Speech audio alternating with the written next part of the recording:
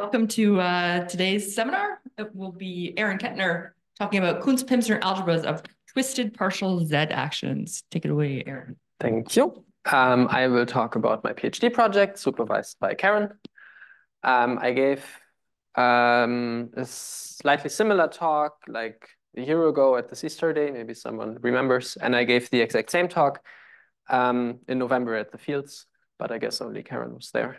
Um, okay, so if we take a classifiable C-star algebra,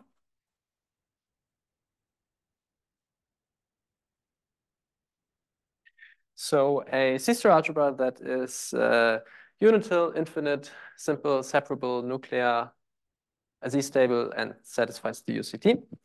Then um, we have two options. Either the C-star algebra is stably finite.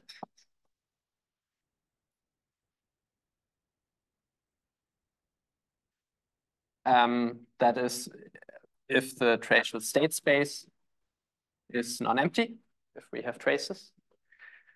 Um, or it will be purely infinite.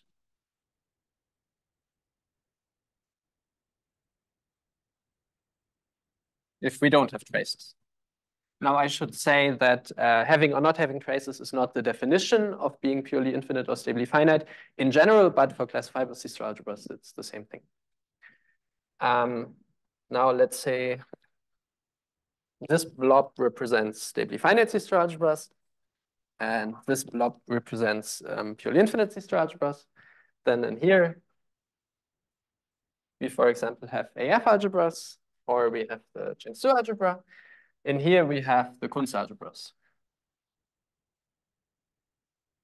O2, O3, up to O infinity. Now, a very natural question is, um, how can we construct examples of classifiable C-star algebras? How can we get our hands on them?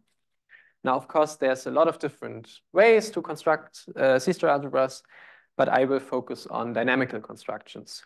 And in particular, um, actions of the integers on topological spaces. So let's take a compact, infinite, um, second countable metrizable space.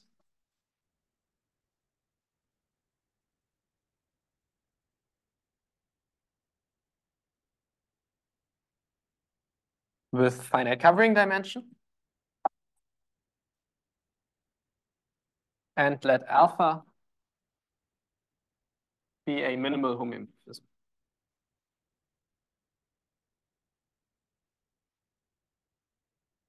Minimal meaning, of course, that there are no closed invariant subsets. Now, uh, given this, we can form a Z action by taking powers, right? Um, and then we can form the cross product C-star algebra.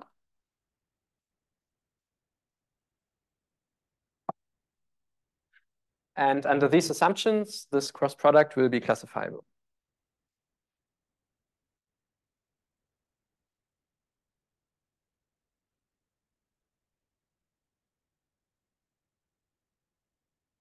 Um, yeah, so these are standing assumptions. So whenever I write X, I mean such a space, and whenever I write alpha, I mean such a minimal homeomorphism. Um, by the way, interrupt me at any time if I should make anything more clear.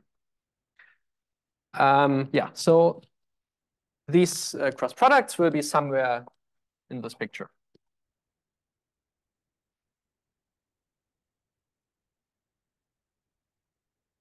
Now, first of all, they will always be stably finite because they always have traces. The trace on the cross, product corresponds to an invariant measure on the space X, and those always exist. Um, and secondly, um, notice that I that this circle is disjoint from this circle of AF algebras, and it also does not include the Jiang-Su algebra. And the reason for that is the next theorem. From a paper of Robin Deeley, Ian Putnam, and Karen. Uh, um, from 2020.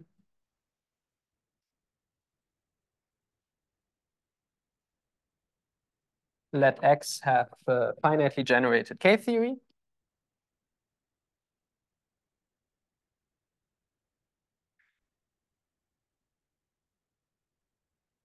And let alpha be minimal.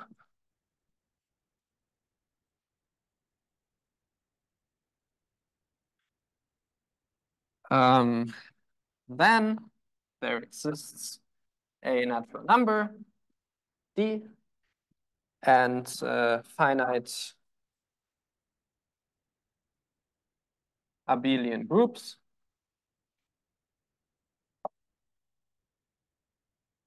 F0 and F1, such that the K-theory of the cross product is uh, so Kj is isomorphic to Z to the D direct sum Fj for J in zero one. Um, I should say that for me, the natural numbers do not include zero.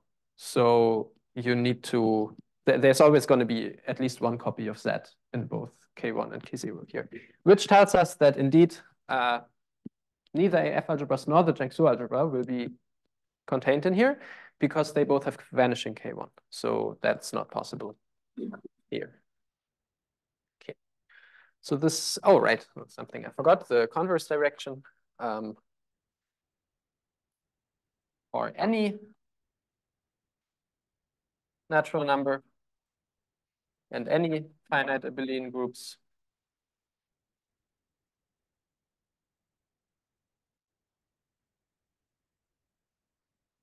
There exists X and alpha such that this holds.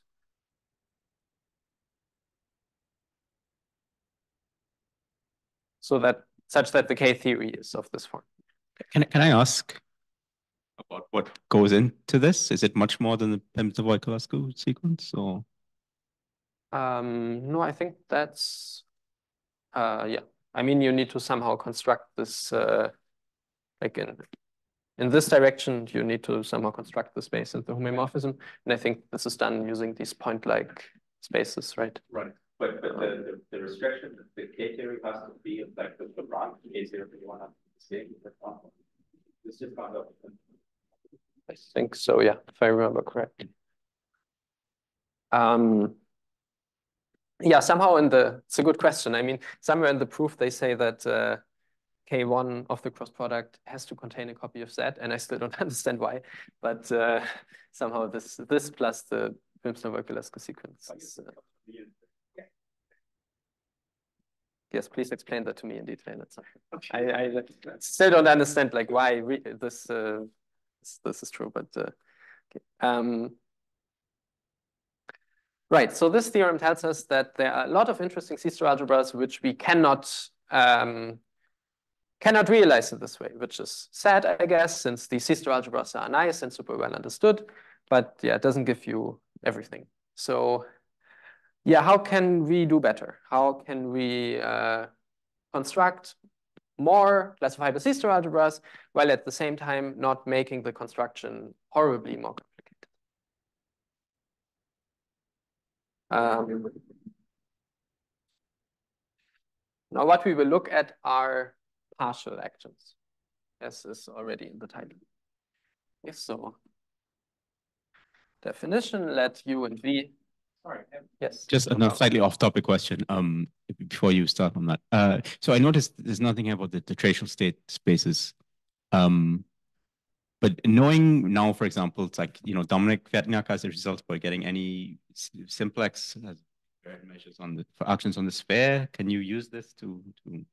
Um, we can not out of the box, but we can probably adapt. Did this prefix actually appear? Not yet, but when I spoke to him, it's yeah, yeah, yeah. it's in the works. Yeah, yeah, yeah. Okay. Thanks. Sorry, please. No, no problem. Um, yeah, so take two open subsets. of the space, then a partial automorphism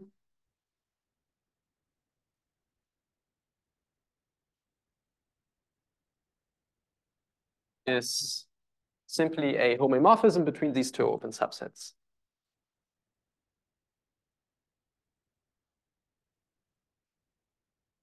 So the picture is the following. We have uh, the space X, and then we pick two open subsets, U and V, and we want theta to map from U to V. That's, that's it. Um, and just like we can obtain an integer action from a homeomorphism by taking its powers, we can obtain a partial Z action from, from this. Obtain a partial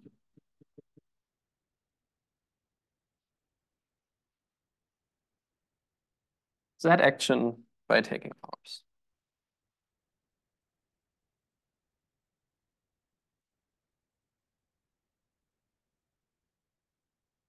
Um, theta to the n. Right, so that's an action, it's a mapping from Z to uh, homomorphisms on X, and n gets mapped to theta to the n. Now, of course, there's a slight issue here now because this is not, theta is not a homomorphism on all of X anymore. Um, so we run into problems when we try to, to iterate it. Okay, so for example, this point here, it gets mapped into V by theta but it doesn't, th this image does not lie in U anymore. So we cannot apply theta again, which means that we cannot apply theta squared to the point we started with.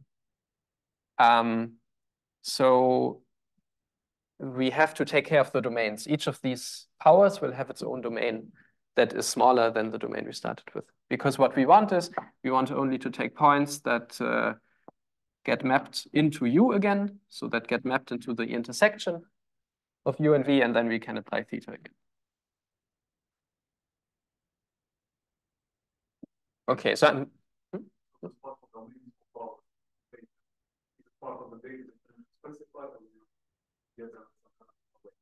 uh, you usually uh, require that they are the biggest possible, which means that they are in a, okay, so let me just write this down. So the domains, uh, which we call dn, so the nth domain Wait, let me, not sure if I can actually get this right. And the, so let like the, the, okay, sorry. So we would usually want theta to the n to map from d minus n to d plus n. That's the convention. Um, so that means u is d1, uh, d minus 1, sorry, v is d1. And then, for example, d minus 2, which is the maximal domain of theta squared, would be the pre-image of the intersection, right? Because those are all of the points where I can, I apply uh, theta once, I land in the intersection, and I can apply theta again.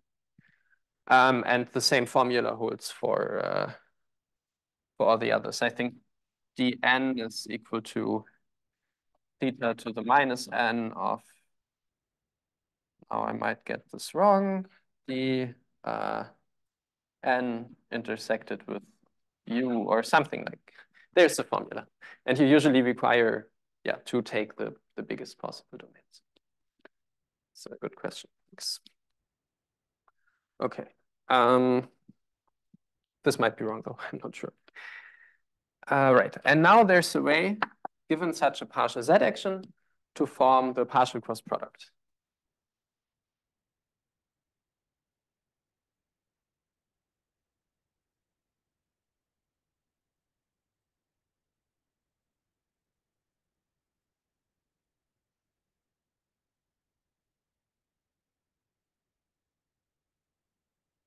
Now, I'm not going to define this now, um, this partial cross product.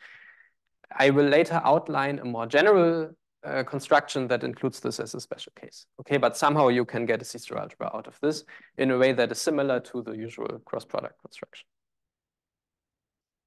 Okay, um, right.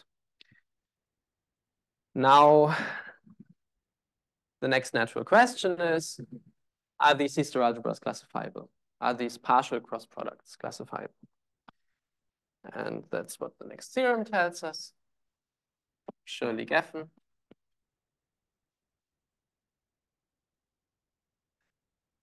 That uh, theta be minimal.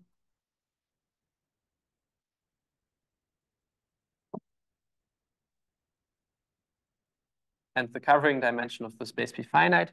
So minimality for a partial automorphism means basically the same thing, that you don't have uh, closed invariant subsets. Um, then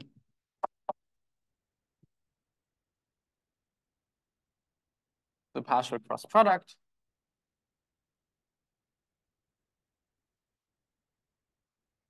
which again at this point is just some mysterious C-star algebra I haven't defined. But uh, yeah, again, it's uh, I'll I'll do that later. Um, this is classified.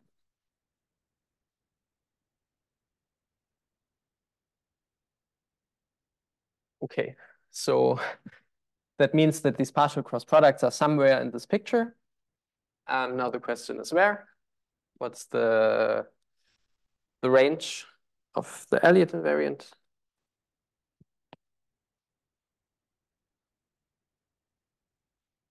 That's the content of another theorem from the same paper of Robin and Ian Putnam and Karen.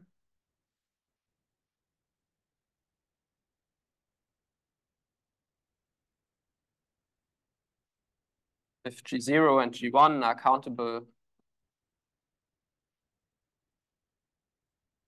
abelian groups, and delta is a Choquet simplex,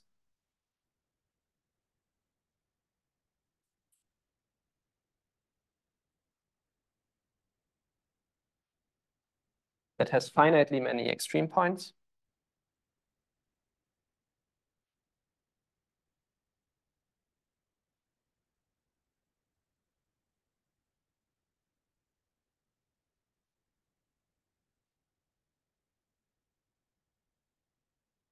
Um, then there exists a space and a closed subset and a minimal homeomorphism such that, now I realize I forgot something. Um, okay, uh, sorry, give me one second. I forgot one example. That's very important. Uh, go over here. So I wanted to give an example of a partial automorphism, the most important example for us in this talk, which is you take a global homeomorphism so in case you haven't noticed yet, alpha always global homeomorphism, theta always a partial uh, thing. You take a global homeomorphism and a closed subset Y of X, and you just restrict the domain of alpha to the complement of Y. So you take, take Y out of the domain. You define theta from x minus y to alpha of x minus y to just map x to x. So we have our space. And now we have, uh, so y is the thing outside. And here we have uh, x minus y. This gets mapped somewhere to alpha of x minus y. And this is what, what theta should be. So on this space, theta should just be should just be alpha. We're just restricting the domain. Um, yeah, sorry, back to back to this. Um, because now this partial automorphism that we have in this theorem is exactly of this form. We take, uh, so there exists a space X, a closed subset Y, and a homeomorphism such that um, minimal one such that a naught of A, where we want to just call A, A is the partial cross product with respect to alpha restricted to x minus y. This is isomorphic to z plus g naught. And k1 of this is isomorphic to g1 and the tracial state space. So now we also make a statement about the tracial state space. Is delta. So in K, K0, you still have this copy of Z that you can't get rid of. But in K1, you have the prescribed group. And in the tracial state space is this, this Choquet simplex. That is arbitrary except for having finitely many extreme points. So this tells us something about the range of the Elliott invariant for these partial automorphisms, partial cross products. The earlier question, uh, the same thing about the tracial state space would be true in the other theorem. We can always get yeah. tracial state space.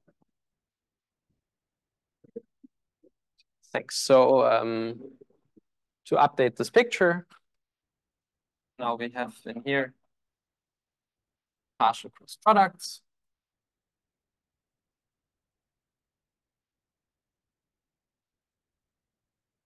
Um, I never know with the cross products if the thing should be open to the left or to the right. I feel like I'm, that's the one. Okay, then. I, okay. Yeah. um, yeah. So I'm I'm not now. It includes AF algebras and it includes the Jiang-Su algebra.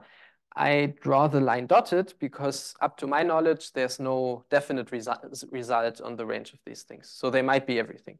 But they but you be. you I mean okay you put it in the stably finite side though. So oh, is it obvious that they are? Thank you. That's a great comment. Um, it's not obvious, I guess, but again, um, as for the usual cross products, tracial states correspond to invariant measures. And as for global actions, you can show that uh, you always have an invariant measure because that is an amin that is an amenable group. So not, not so obvious. It's it's true. Uh, I mean, yeah, we can no, but like I can, we can talk about it. Yeah, no, it's uh, it's something you need to show, but it's been shown. So, yeah, basically the proof that the classical proof for the existence of an invariant measure still works more or less the same. I feel like I asked you this year maybe, maybe. um, okay. Yes, um, as Bishan pointed out, we are still only in the stably finite setting. So how do we get to the purely infinite uh, setting? How do we construct purely infinite C-star algebras? Maybe I should erase something or I just go there. Just erase this example.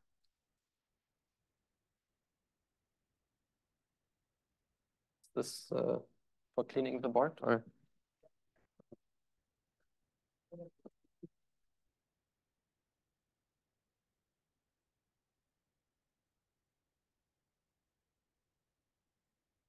Okay. Yeah, what about the purely infinite case?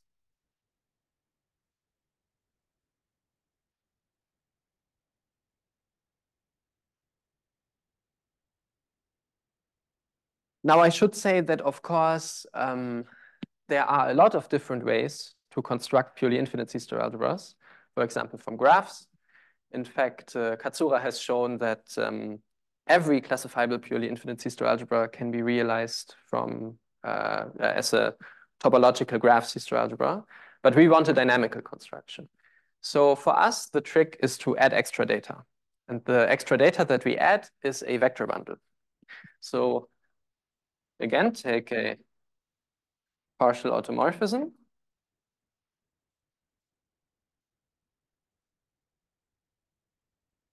on X and now take a vector bundle over the domain of the partial automorphism over U.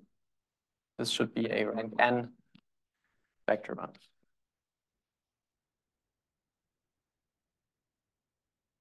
A quick reminder on what a vector bundle is. A vector bundle consists of the total space E, the base space, in our case, U, the domain of the partial automorphism, um, and a continuous surjective map, P, the bundle projection, such that um, the fiber over every point in U is homeomorphic to C to the N. So we can put a vector space structure on the fibers. And uh, we want this to be locally trivial. So for all x in U, there exists an open set, an open neighborhood of x such that the vector bundle restricted to U, which is just the same as P inverse of W. So all the all the fibers over over the open set W. This should be isomorphic to the trivial bundle W times C to the N. Where here by isomorphism, that's important, isomorphism means an isomorphism of vector bundles. So preserving the base space. If I if I'm uh, in some fiber over some point on this side, and then I go to the other side, I'm still going to be in this in the fiber over the same point. Oh yeah, sorry, thank you. Um, yes, so that's number one, base preserving, and the other thing is that it should induce a linear map on the fibers. Okay. Um, right? So the picture is we have again our space and we have the open subset U, and then we have these with the vector bundle over U, which consists of which attaches a vector space to each point in U. Okay. Um, one more thing we need are sections. These are continuous maps from the base space into the total space which are right inverses to the bundle projection. So P composed with S should be the identity on U. Um, now, given this vector bundle, we can look at the space of all continuous sections of the vector bundle. Okay, so this should be the space of continuous sections of E, vanishing at infinity.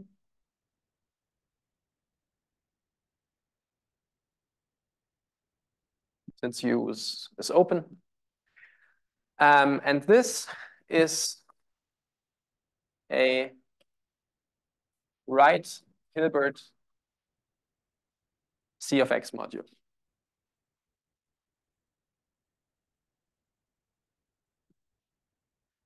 Now, um, a Hilbert module over some C-star algebra is just, it's, it's basically a Hilbert space where you replace the com complex numbers with the C-star algebra. Um, so first of all, in our case, the C-star algebra is C of X. First of all, um, it's a module, just in the algebraic sense. So there's a multiplication of continuous functions with sections. We take section and a continuous function. There's a way to multiply f to xi from the right and get an, another section. And for us, this is just uh, pointwise multiplication. Um, yeah, I mean, the section in each point of the base space, it gives you a vector. And a continuous function for each point of the base space, it gives you a, um, a complex number. So you can multiply the vector with the complex. It's just pointwise. Um, this is the multiplication. The other thing we need, because it's a Hilbert module, is an inner product.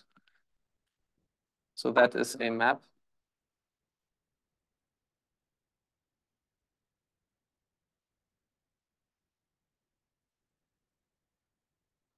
from the product uh, gamma naught of E times gamma naught of E into C of X. So usually for Hilbert space, this would be C, but here it's C of X. Um, yeah, that fulfills the usual, that has the usual properties. Yeah, if you change the entries, you get the, the, the star. Um, it's usually assumed to be linear in the second component and anti-linear in the first component, and it's positive definite. Yes.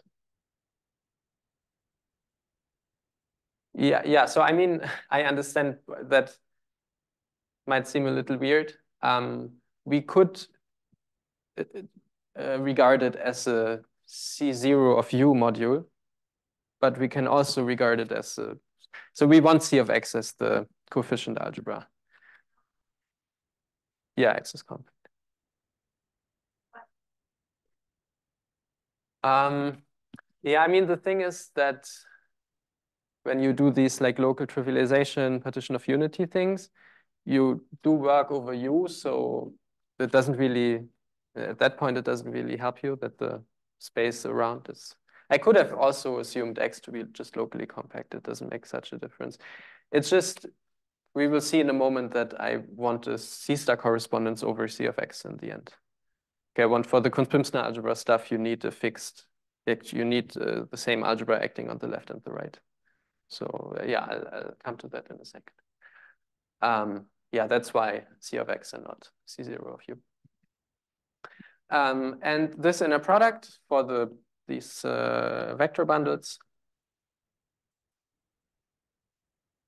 it's basically also just pointwise. So that's a little imprecise, but yeah, so it just means that we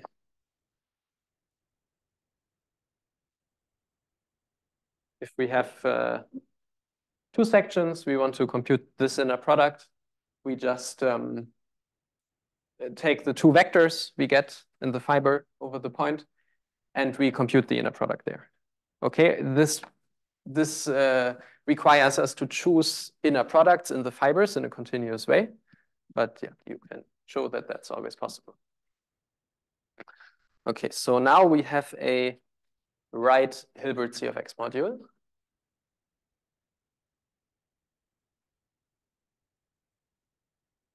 Um, but this only um, this only uses the vector bundle, but we somehow want to incorporate the dynamics also. And this is done by defining a left action, which is just a, a star homomorphism from C of X into the adjointable linear operators.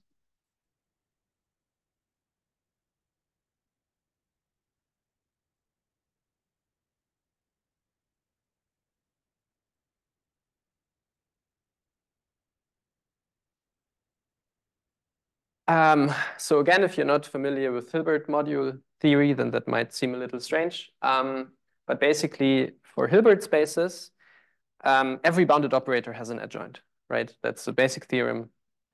Now, it's not true anymore for Hilbert modules. For Hilbert modules, you need to restrict to the space of operators which do have an adjoint. Okay, so this is star homomorphism. And how is it defined? It's defined uh, by taking a continuous function and the operator that corresponds to this continuous function.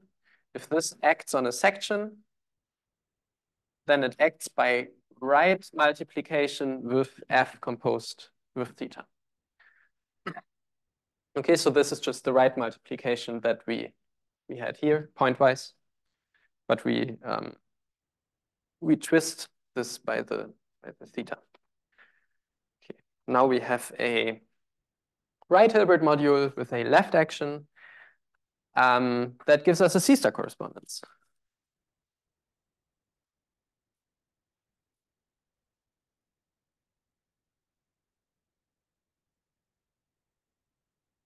If you don't know what a C-star correspondence is, it's exactly this. Okay, it's just like if you don't know what it is, forget the word. It's just a right Hilbert module where you have this kind of operator or this kind of star homomorphism. Um, yeah, so we obtain a C-star correspondence over C of X, which we generally denote by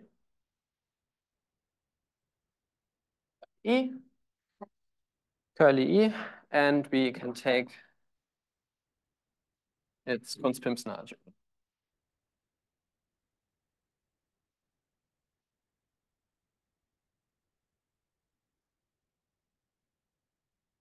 OE.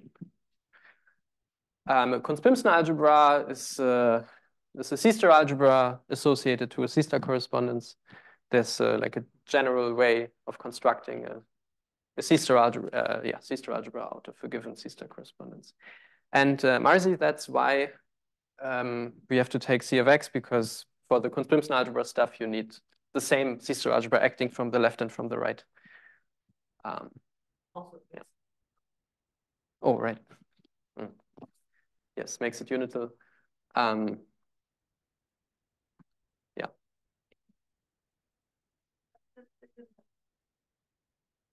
Mm -hmm. Mm -hmm.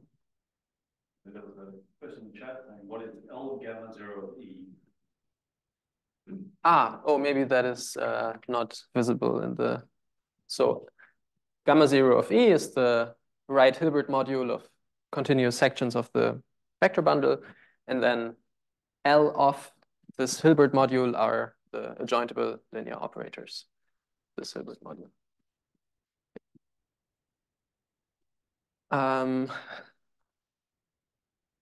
okay, so right, I wanted to briefly say something about the Cuntz-Pimsner algebra. Maybe I should finally erase some stuff.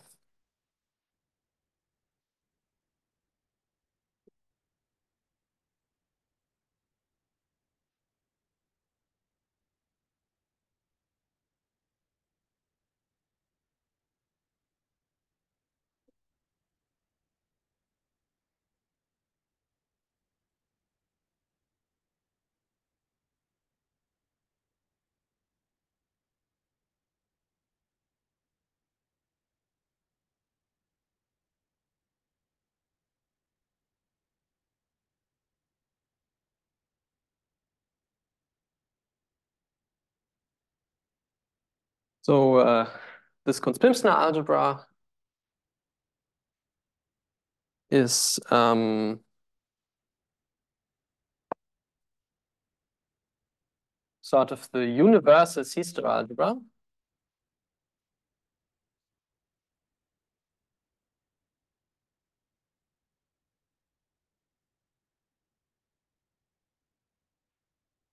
generated by C of X. and E, curly E, where curly E is our C-star correspondence. Um, but with certain relations.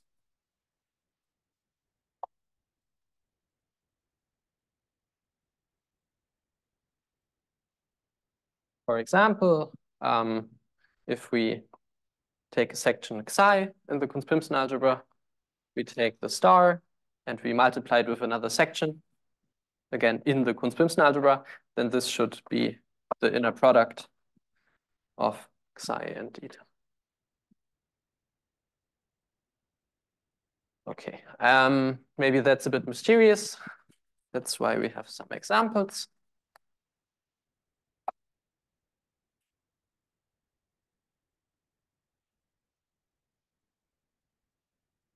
Um, if we take our partial automorphism, theta, to just be a global homeomorphism, alpha, and we take E to be the trivial line bundle over X, so just X times C, then this space of continuous sections will be just C of X, right? I'm just for each point in X, I'm choosing uh, a complex number in a continuous way. So I just get C of X. And um, the Cuntz-Pimsner algebra will just be the cross product. Wait, sorry, which this? Okay, good. uh, yes. Why? Well, the cross product can be thought of as the C-star algebra generated by C of X and the unitary, right? With the relation that F times U should be U times F composed with alpha. That's what the cross product is. And now we see that this commutation relation is exactly how we defined the left action here. So that, that's where that is coming from. Um, and we only need to consider one unitary instead of the space of all sections because our space of sections is just C of x. So it's enough to look at the constant section that's one everywhere and then up to right multiplication by continuous functions that gives us everything. So yeah, this constant section that's one everywhere will be our unitary. And it's a unitary because of these certain relations. You put, uh, for example, this one, you can see that it's an isometry because yeah, U star U is, uh, is the identity. Yeah, so that's why we get the cross product here. Um, now, if we change from the global to the partial setting, we take a partial automorphism, but we again take just the trivial line bundle over U. Then the Cuntz-Pimsner algebra will be exactly the partial cross product.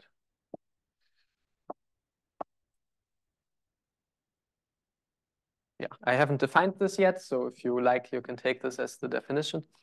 Um, yeah, that's what you what you get. And the last example, if the space is just a point, then of course the vector bundle has to be trivial. It's just going to be a point times c to the n. And then the uh, Cuntz-Pimsner algebra will be the Cuntz algebra, ON.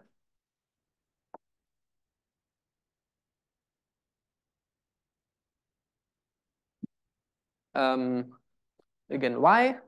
The Cuntz algebra is generated by, ON is generated by n isometries. Now our space of sections is just C to the n. So we can fully describe that by choosing an orthonormal basis. And this orthonormal basis will give us exactly these isometries. So that they have to be isometries, you can again see from this relation. Um, yeah, that again, the thing star times the thing needs to be one. And yeah, the other relations you can also you can also show. So this gives you the concept. Okay.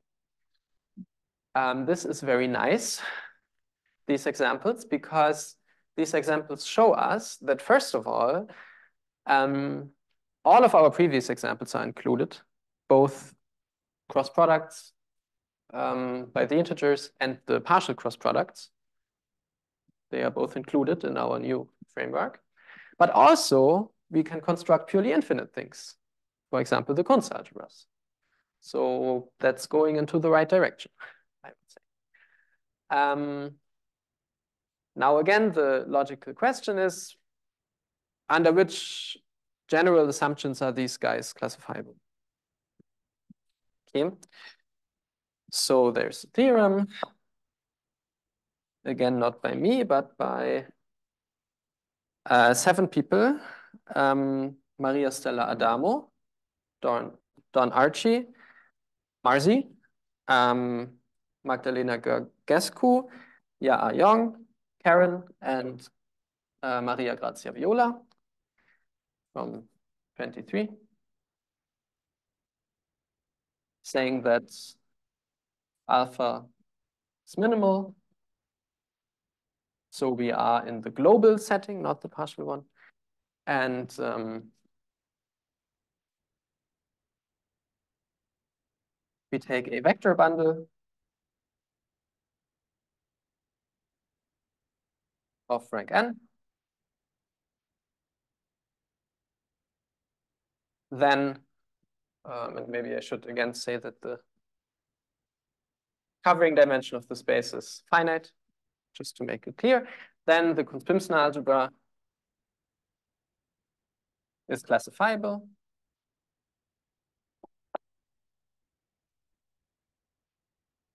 And moreover, the Cuntz-Pimsner algebra is stably finite.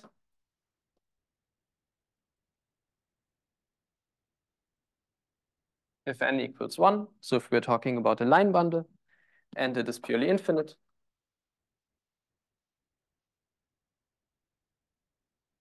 if n is greater than one.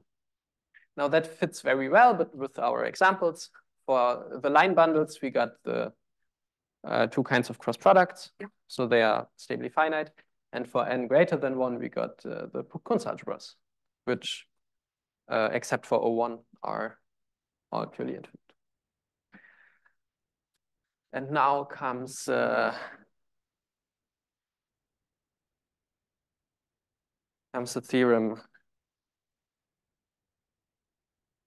that I proved after 45 minutes of talking. I guess that's the longest introduction we, we ever had. Yes? For both action of Z in terms of theta and also another action along the. Can you say the second thing again? Epsilon accounts both for the action of Z inherited uh, from data. Uh-huh. and we also have some other action along the fibers. Um, So epsilon, epsilon combines both. I'm not sure what you mean with the action on the fibers. Um, No, so- Maximum, uh, vector bundle, but it, uh, preserved for fibers, so it just then points to the or do you mean this? No, right. Um, I'm not sure. So, so this, yeah, epsilon or curly E is, uh, this incorporate this this uh, is this right Hilbert module we get from the sections of the vector bundle, plus um, this left action here, that that includes the that uses the theta.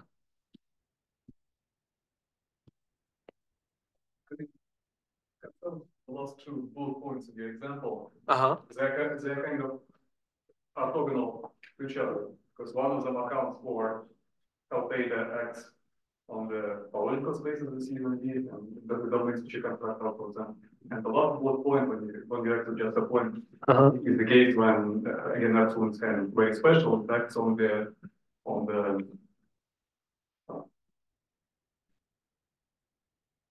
on the fiber somehow, right? Because, uh, Mm-hmm. Yeah, I- I guess you. Maybe, for example, epsilon is some kind of epsilon. So the I think of correspondence as a gen- generalization to bottom line, right? Right, right. Yeah, so in this case, maybe uh, the last bullet point is an example, but it's bottom line. Mm-hmm. Yeah, so I mean, the, the automorphism on the base space is certainly trivial, right? So because it's just, uh, the space is just a point. So in that sense, there's no dynamics here. But of course, you can still interpret a C-star correspondence as an action, uh, yeah, of, uh, as a map between C-star algebras, right? So in that, that sense, yeah, we, we have, yeah, some kind of trivial, trivial action in, in that case. Okay. I, I think I know what you mean. As, did that answer the question? Or? Okay. Okay, so my theorem uh, just takes this theorem and generalizes it to the partial setting. Okay, so we just replace uh, theta, or we, we replace alpha with theta, and the rest stays the same. Minimal um, rank n. Again, the covering dimension of the space should be finite. Then um, let's just say the same conclusion hold.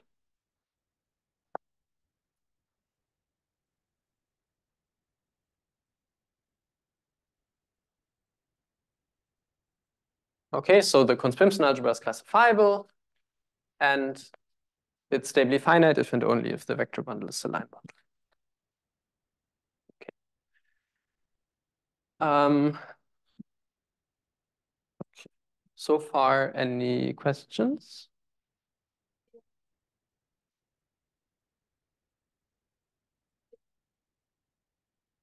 Um, yeah, it's basically the same. Yeah. Yes, yes. Yeah, thanks for the the transition because the next thing I want to do in the, the, last five to 10 minutes is uh, briefly talk about the proof. Um, but not of everything because you need to check kind of a lot of things, right? But most of it, uh, yeah, it's not so hard. So, um, for example, nuclearity and the UCT just follow from general properties of uh, of Cuntz-Pimsner algebras. Now, simplicity and um, and uh, this this last statement, which basically says something about the tracial state space, this is exactly as in their paper. The only thing that's a little different is the finite nuclear dimension. So instead of showing these showing this stability, I showed uh, finite nuclear dimension. And I maybe briefly wanna wanna outline how that works. Nuclear dimension.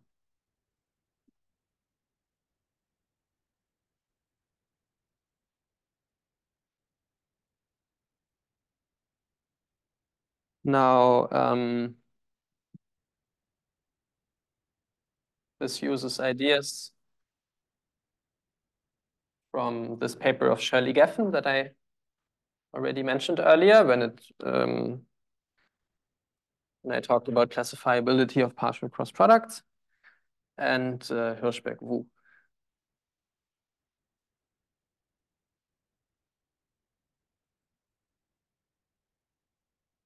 So basically, let me first uh, fix some notation.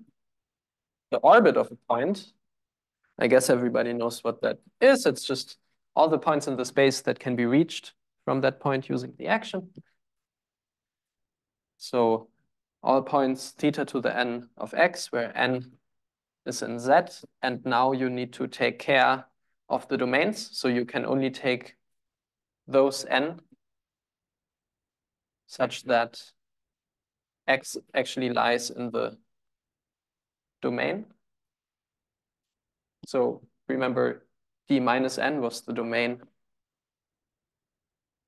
of theta to the n. And um, basically, what um, what this paper from Shirly is doing is reducing to the case where all of the orbits of the action have a fixed size. Okay, so we assume that all of the orbits contain exactly m capital M points and no um, no periodic orbits.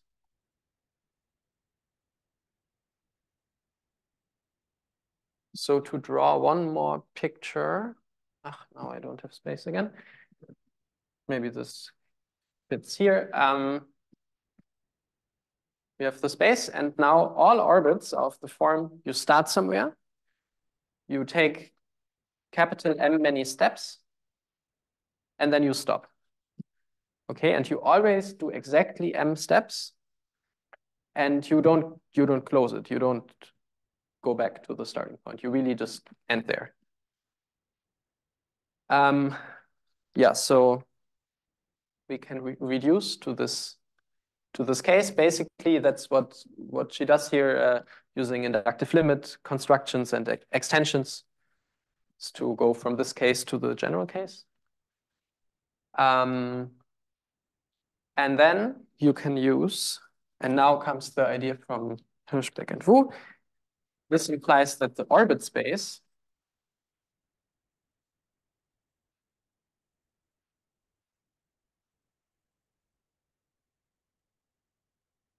So the, the space X, but quotienting out orbit equivalence, where two points are equivalent if they're on the same orbit. This space is Hausdorff. Now I very quickly need to raise something. Or maybe let's just, no, let's just over there.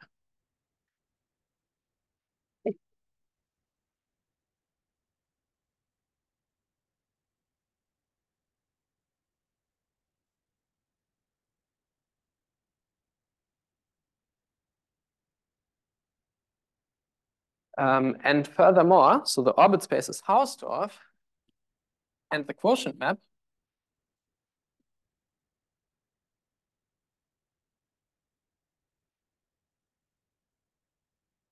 say pi is proper. Proper means that three images of compact sets are compact. And that implies that um, I get um, an embedding.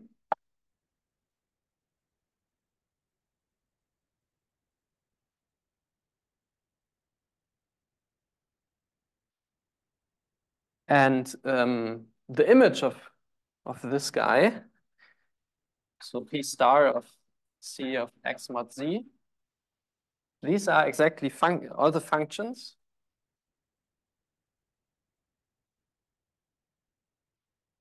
uh, constant on, on theta orbits.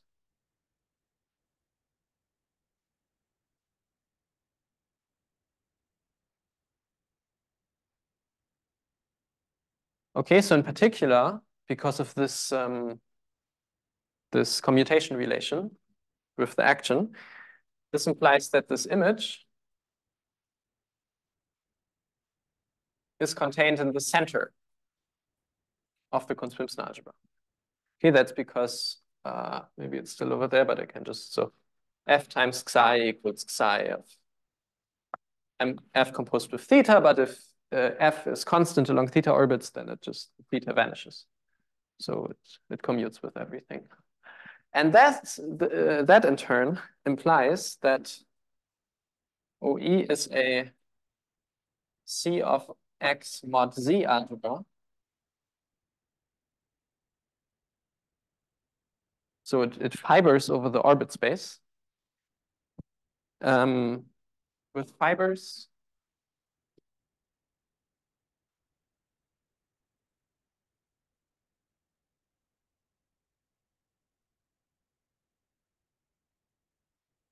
So the fiber of OE at some, some orbit, some point in the orbit space, this is exactly the Cuntz-Pimsner algebra of the C-star correspondence restricted to this orbit.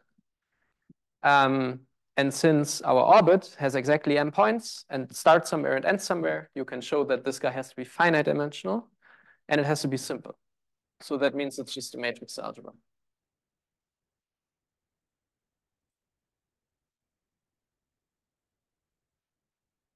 And now, very last thing. Do I need to erase something again? Maybe, maybe over here.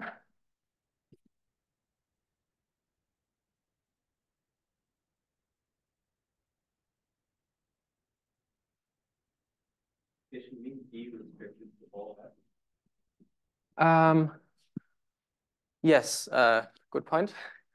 So you can restrict your C-star correspondence to any invariant subset by restricting the vector bundle to the subset and restricting the action.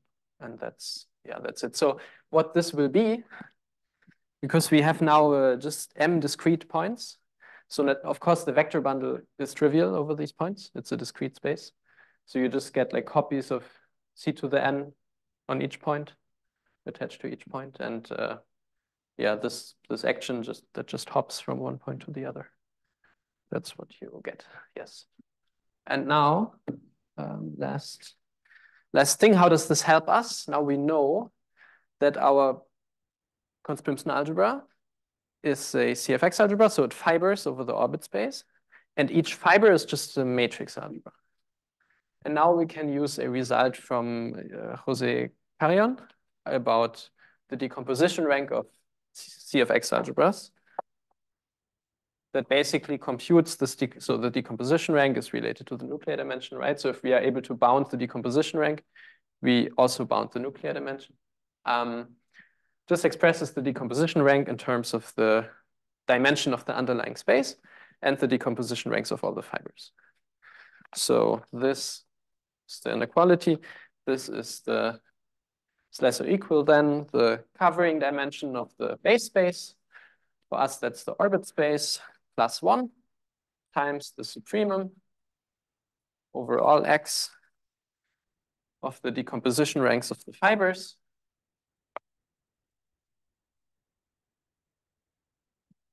Plus one, and the whole thing minus one. And now this guy here and I think there you need properness of the map, the quotient map. The, the covering dimension of the orbit space is uh, bounded by the covering dimension of the base space. The decomposition rank of the matrix algebra is zero. So what we're left if, uh, with is uh, dimension of x plus one. This whole bracket is just one, so it vanishes, and then minus one. So we're left with the covering dimension of x, which means we bounded the decomposition rank of our Cuntz-Pimsner algebra by the covering dimension of the space. In particular, it's finite because we assume this to be finite. So the nuclear dimension is finite. And now you can use this whole thing from Shirly's paper about um, reducing to this case where you have uh, only orbits of a constant size. And that's how you show finite nuclear dimension. Um, okay, I think that's. Yes, the bound is still the same. I don't, it's a little. Ah, no, so the it's a little more complicated. I don't remember now. There was some polynomial in the dimension of x. It's a little more complicated.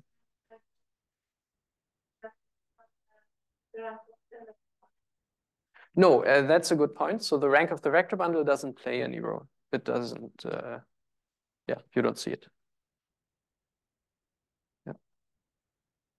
And I guess, um, where does simplicity fall in to this picture? Because you know, um, this, so reducing it to something unsimple. Yes, yes, yes. Yes. But then somehow you're throwing simplicity back in at the end, or? Yes, so what you use on a technical level is that the the partial automorphism is minimal. So you, you need that for this this uh yeah, basically reconstruction of the whole action just from points uh, from orbits with fixed size. So in this like yeah, reconstruction thing or, or the other way around. In this decomposition of the, the action into orbits of finite size, you use that the action is minimal so that this this all works. There's an inductive limit going on, so it's something Mhm. that the inductive limit um, that you're getting by allowing more and more points in these orbits. And then taking that to infinity, so you get something simple. is that something along Base- those lines? Basically, yes. So you you have your space And then you you have the domain and you can exhaust the dom so you take compact subsets of the domain, you can exhaust the domain by compact subsets that get bigger and bigger. And um, because the action is minimal, now if we restrict to each of these compact subsets, there you only have finite orbits because at some point you need to leave the compact subset. So that's how you restrict to the case that you have finite orbits, but of arbitrary size. And then you need to do some extension stuff in order to reduce to, uh, to, to de decompose this into the different parts with orbits of a fixed size. Yeah, it's actually an interesting point for, for global actions. You could just reduce to um, bounded orbits. So as long as the orbit size is uniformly bounded, you get that the orbit space is Hausdorff and you could do the same thing. But for partial actions, this is not enough. Um, you actually need like to have only one size. Um, yeah, if you just have have uh, orbits of two different sizes, it, it can be non-Hausdorff. Yeah, okay, I guess that's uh, that's it.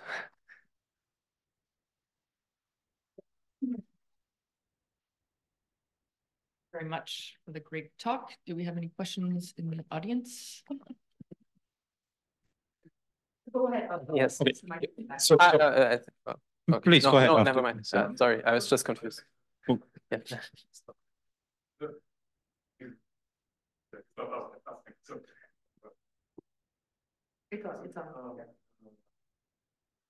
Yeah, so, yeah, and then another question is, uh, so what was this dimension, not not dimension, the decomposition the Mhm. number of characters? Is this notion introduced specifically for constitutional algebra? Something general? Uh, no, this is a general thing for C-star algebras that plays a role in the in the classification of C-star algebras. Um, it's somehow, yeah, I, someone want to take over? I'm not sure what the exact definition is or what the what the meaning is somehow. It's like the dimension of the C-star algebra, right? Yeah, it's a non-commutative uh, analog of the covering dimension of a topological space. So for C of X, the the decomposition rank is the dimension of X. Which, which brings me to, to my question, actually. So you, you used here the fact that the decomposition rank is, is finite.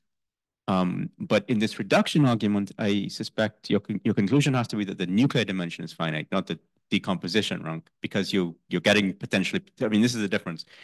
Finite decomposition rank implies stably finite, but that's not the case for, for nuclear dimension. So so my, my, my question is in this bootstrapping to get back to the general case from this reduction, something has to to go wrong with the decomposition rank. It uh -huh. has to uh-huh. switch to nuclear dimension at some point. Right. Um, if I remember correctly, then the so this um, so we have two different things here, right? We have the inductive limit as I sketched it. So we have the, the inductive limit where you exhaust your your the, the domain of your action. And you have this, like once you have uh, an action with finite, uh, only finite orbits, you can do like some extension stuff. And for the extension stuff, I think you need the decomposition rank. And I think at that that point, you should still be stably finite because all the orbits are, are finite. Right. Um,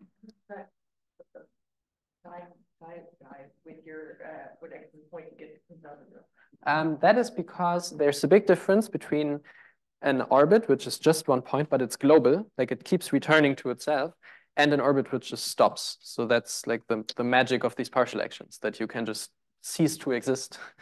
Um, and then there's nothing, and you, that's why you're finite dimensional.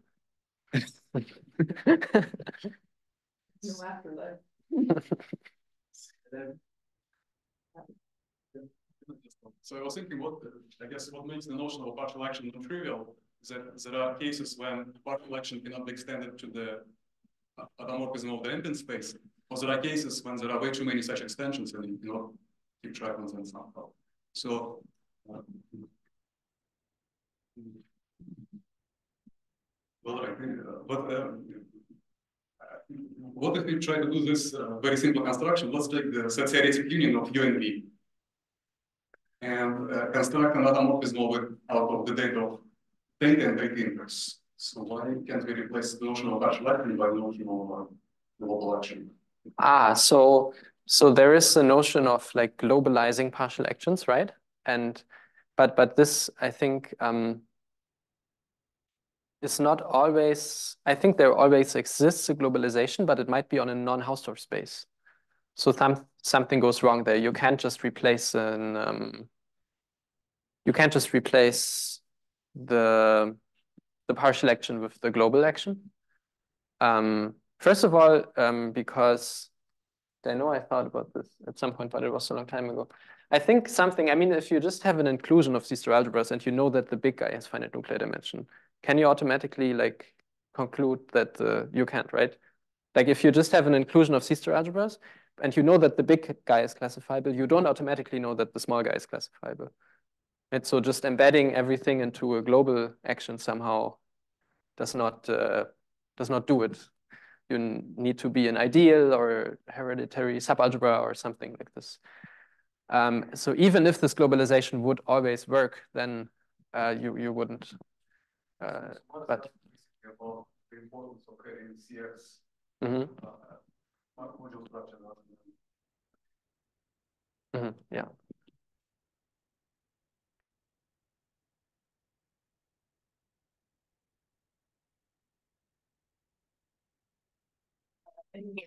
Other questions?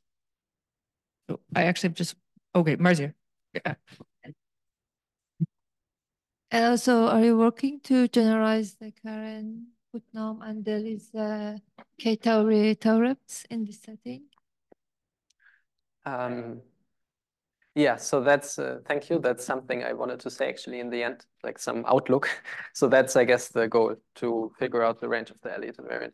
So I've been working a bit on groupoid models for these things because the Deeley Putnam Strung paper uses groupoid models to compute the K-theory of these orbit tracking guys. Um, but yeah, so this is uh, in the future, I hope that we'll be able to.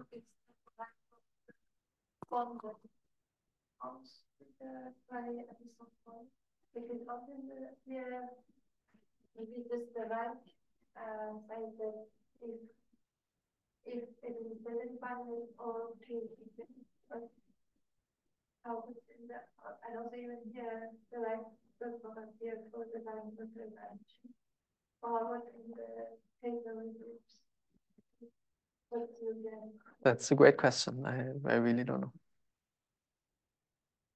Yeah, cases, I don't know, I mean, I from the fact that they don't have order, if they don't have to, they don't go.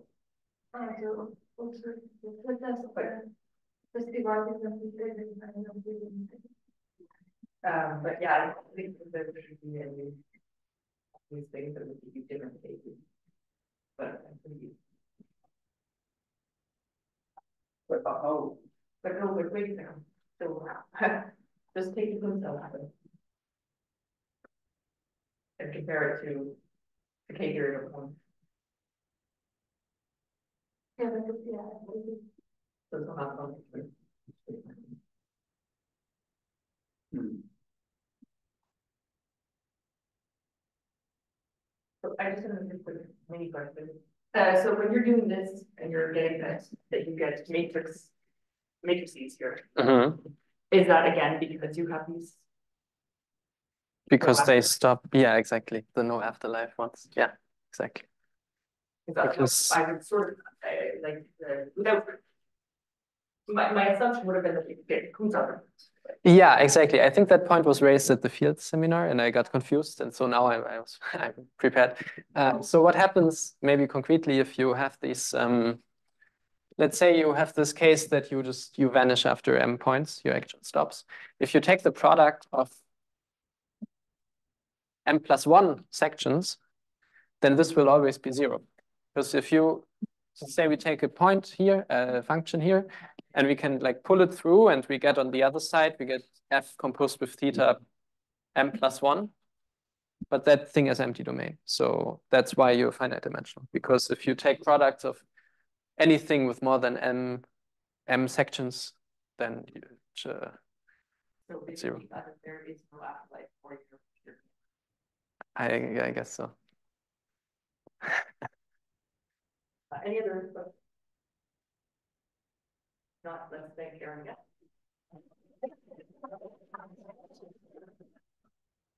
And next week, we have uh Vadim Alekseev, of course, they've gone to get this open.